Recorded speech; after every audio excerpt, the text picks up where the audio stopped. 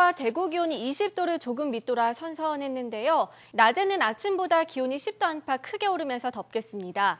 서울은 27도, 대구는 32도까지 오르면서 늦더위가 이어지겠는데요.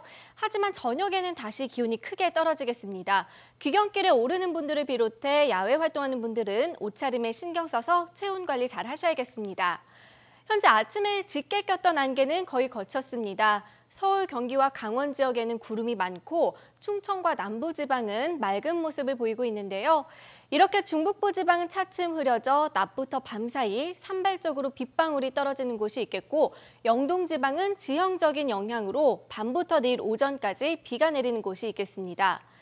오늘 낮 기온 어제와 비슷하겠습니다. 서울 27도, 대전 29도, 대구 32도, 전주 31도로 예상됩니다.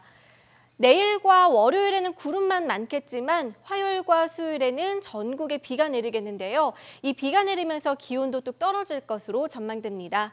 기상센터였습니다.